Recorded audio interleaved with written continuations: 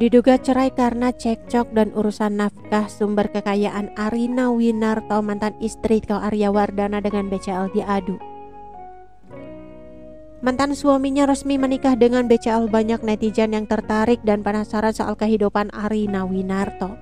Apalagi dengan alasan perceraian Arina Winarto dan Tiko Arya Wardana hingga akhirnya memilih berpisah. Tidak sampai di situ saja, kini banyak netizen yang turut membandingkan sosok Arina Winarto dan BCL, termasuk soal pekerjaan hingga sosok mantan istri Tiko Arya Wardana tersebut. Meski bukan dari kalangan selebritis, Arina Winarto ternyata memiliki profesi mentereng. Dari sumber lain disebutkan bahwa Arina Winarto bekerja di sektor perbankan. Pada 2009, Arina Winarto dikabarkan adalah sosok yang cukup berprestasi di Bank HSBC karena termasuk mencatatkan penjualan obligasi mata uang asing tertinggi.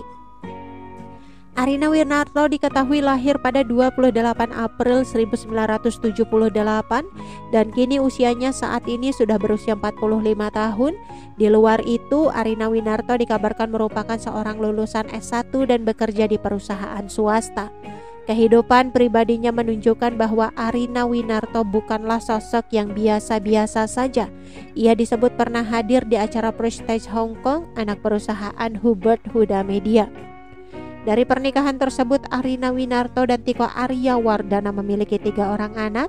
Menurut catatan di Mahkamah Agung, Tiko Arya Wardana dan bekas pasangannya diketahui telah mengalami perceraian yang diduga disebabkan oleh pertengkaran dan permasalahan terkait nafkah. Surat keputusan perkaranya pun sudah terdaftar di Pengadilan Agama Jakarta Selatan. Sementara itu, BCL dikenal sebagai seorang publik figur dan penyanyi sukses dengan mempunyai harta kekayaan yang berlimpah. Menjadi publik figur, BCR memiliki banyak job mulai dari penyanyi, aktris film, iklan hingga endorsement hingga menjadi brand ambassador. Dia juga disebut-sebut banyak menekuni beberapa bisnis di bidang kuliner hingga kecantikan.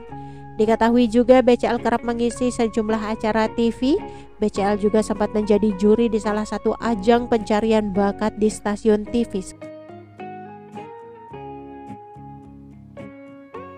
Oke teman-teman itu sedikit berita dari channel blog berita sampai. Ketemu lagi di berita-berita selengkapnya. Assalamualaikum bye bye